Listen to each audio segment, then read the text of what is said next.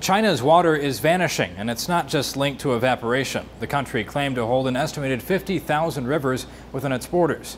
Now, more than half of them have abruptly disappeared. The results from the first national water census were released March 28th. It was conducted by the Chinese Ministry of Water Resource. The study shows that since the 1990s, at least 1,000 rivers have been disappearing from China's landscape every year. Half of the rivers gone were over 60 square miles in volume. China's engineers have been debating the cause for the vanishing water. Some argue that it's the unsustainable growth of China. But the deputy director of the Chinese Ministry of Water Resources told the South China Morning Post the disparity in the numbers was caused mainly by inaccurate estimates in the past, as well as climate change and water and soil loss. Due to limited technology in the past, the previous figures were estimated using incomplete topographical maps dating back to the 1950s. The United Nations lists China as one of the 13 countries most affected by water scarcity.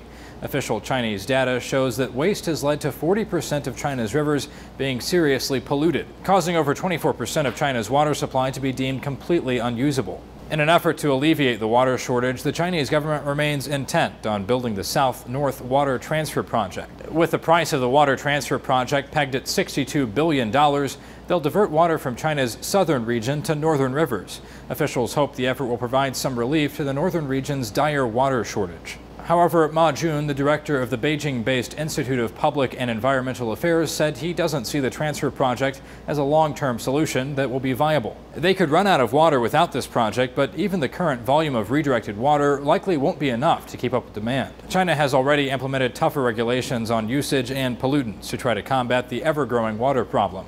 However, it remains to be seen whether China can enforce regulations across an expansive and fast-growing population.